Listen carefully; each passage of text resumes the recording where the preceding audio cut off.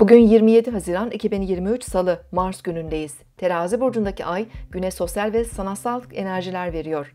Öğle saatlerinden itibaren ay Aslan burcundaki Venüs'te uyumlu görünüm yapacak. Güzellik, estetik, kişisel bakım, sanat ve eğlence gibi alanlara yönelebilir, keyifli sonuçlar alabiliriz.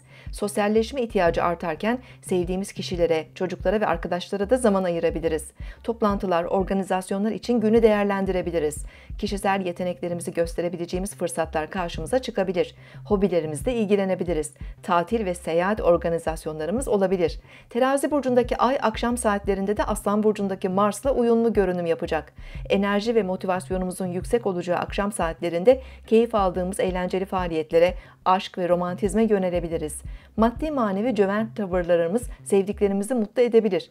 Gün genelinde olumlu etkileri terazi, aslan, ikizler, kova, yay ve koç burçları daha güçlü hissedebilir. Merkür bugün Yengeç burcuna geçecek. Merkür 10 Temmuz'a kadar Yengeç burcunda ilerleyecek. Bu dönemde zihnimiz sevgi, şefkat, güvenlik, ev, yuva, evlilik, aile, ebeveyn gibi konulara daha fazla meşgul olabilir. Düşüncelerimiz duygularımızın ve ailemizin etkisinde kalabileceğinden olaylara objektif yaklaşmakta zorlanabiliriz. Siz de şimdi kanalımıza abone olun, yorumlar bölümüne sorularınızı yazın, sürprizlerimizden haberdar olun.